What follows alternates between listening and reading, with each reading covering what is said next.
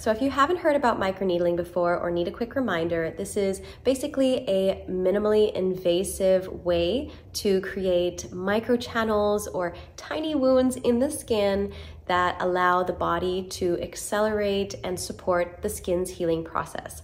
So by creating these microchannels, you're basically telling the body that it needs to send white blood cells to start healing. And this is great not only for acne scarring, for hyperpigmentation, but also for fine lines and boosting collagen in the skin.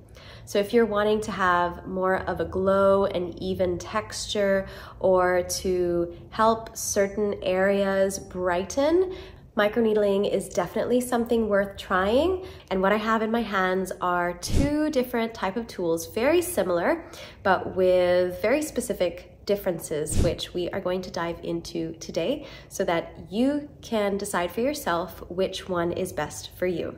In this hand, we have the Banisher 3.0 from Banish, and I'm gonna highlight the features, the pros, the cons, and in this hand, I have a generic micro needling derma roller. All right, so let's start with the derma roller. The features are simple. You have a handle, you have the actual rolling piece here with titanium bristles or needles, micro needles, hence the name micro needling, which are about one to 1.5, sometimes 0.5 millimeters, but you'll typically get these generic ones with 1 to 1.5 millimeters. You can see that there. All right, so those are the features. Now, some of the benefits to using a derma roller, one, it is pretty much available anywhere at your physical shops, online, you can get it from Amazon to eBay to Temu, wherever you can find it. So readily available. Number two, it is actually quite cheap. Now I got this one, this is a generic brand. I got this for about $8 and I did a quick search. You can actually get this for about a dollar fifty. It is a very cheap option for doing at-home micro needling. Now, another feature is the fact that it is quite broad. So you do have pretty good coverage here not only for the face, but if you had any sort of scarring or pigment on your body, then you could use it for that. And it would be a lot quicker to go over those areas. Some people use it on their scalp as well, depending on what your goals are and what it is that you're trying to remedy. Now, let's talk about some of the downsides, the cons, to using a derma roller. The first is technique sensitivity. With the skin, it is very important to use proper technique when using a derma roller. And this is simply because someone, and I'm speaking from personal experience, might press too hard or pull on the skin, causing damage to the skin. And the first time I used a derma roller was about 10 years ago and I could have been better with my technique. And because of the way that I was using it I did have a lot of acne and acne scarring and all I wanted to do was get rid of it and I sort of used it like an eraser which is not the best way to use it. And that caused me to have some spots on my face where I dug into the skin and it actually now looks like I have these larger pores. The second con is the lengthier recovery. The derma roller can cause more redness and swelling post-treatment. So it could take 12, 24, maybe 48 hours. It does depend on your skin and how sensitive your skin is especially if technique that you're using is not optimal. So that's definitely something to consider if you're wanting a tool and a microneedling session that is shorter and has a shorter downtime. All right, so that's the derma roller. Let's move on now to the stamper. This is the Banish 3.0. Now let's just dive straight into the, the pros, is that with this tool, the head pops off.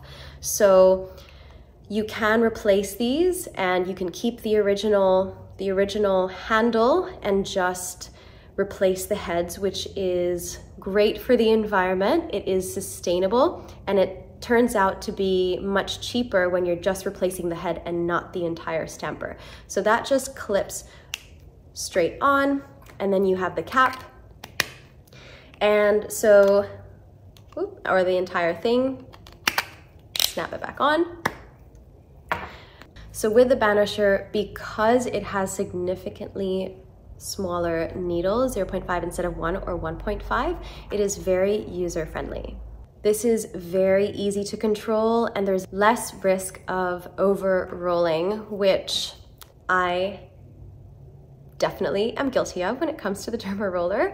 I added too much pressure, but with this, it is easy to control. It's actually quite weighty, which is nice. And when you press in, it's just so much easier to get that coverage. And because of that, it's very user-friendly. If you are new to microneedling, then this is definitely something to consider. Thing you don't want to damage your skin. Maybe it's a little bit intimidating. You might have been thinking of going to a clinic instead and getting a professional to do it. But in fact, when you use the Banisher, you don't need to be a professional. You will become an absolute pro, but from the get-go, anyone can actually use it. Very beginner friendly. The second thing is less trauma, which leads to quicker recovery time.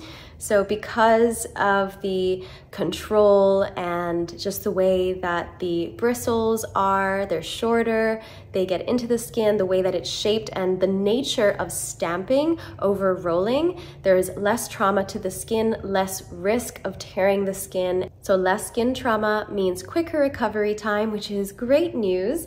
If you're someone who wants to include this in your night routine, this is something that I do, do it in your night routine and it only takes about eight hours to recover after that. And the next day you can put on your makeup, your SPF if that's something that you do, or just go about your usual skincare. So in conclusion, choosing the right tool is of utmost importance and a very personal decision. Ultimately, it depends on what your skin concerns are, what your budget is, what your comfort level is of application. The Derma Roller is great for general use, while the Banisher 3.0 offers precision for targeted issues. So there you have it, the Derma Roller and the Banisher stamping tool. Now, if you have any questions, drop them in the comments and we'll see you next time. Happy stamping or rolling.